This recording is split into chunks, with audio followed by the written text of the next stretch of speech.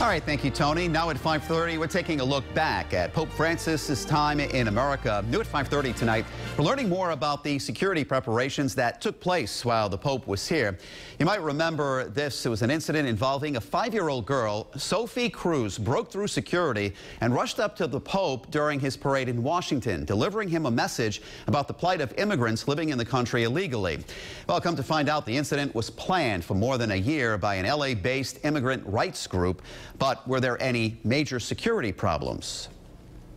Eyewitness News analyst Lieutenant General Reginald Centracchio joins us now in studio to recap the security that was put into place from Washington to Philadelphia. At least by looking at it on the uh, outskirts, General, everything seemed to go to, as planned. I think it was amazing. I was very pleased with the uh, final outcome, obviously. And, you know, what we didn't see is probably the majority part of the plan.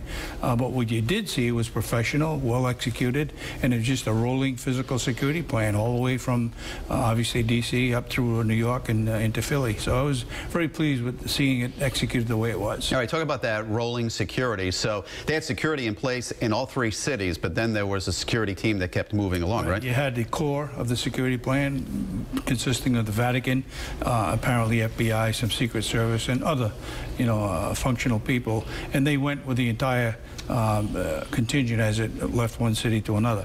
But what you didn't see was the things that were already in place.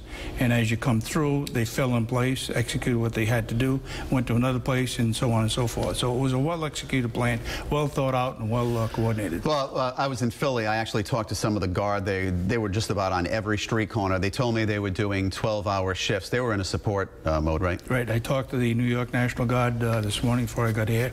Put in several calls to uh, Pennsylvania and D.C. But I can make a uh, uh, somewhat of a, a, judgment saying that they were basically all the same.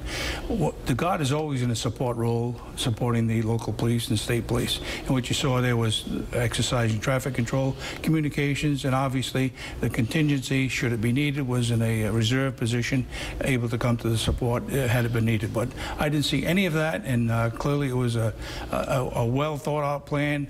Uh, everybody had a part in it, and it, it worked well. It was interesting. You could see the helicopters and the planes in the air. Then you knew he was coming That's just right. a few minutes later. The That's General right. has more on that on our website. You can go to WPRI.com.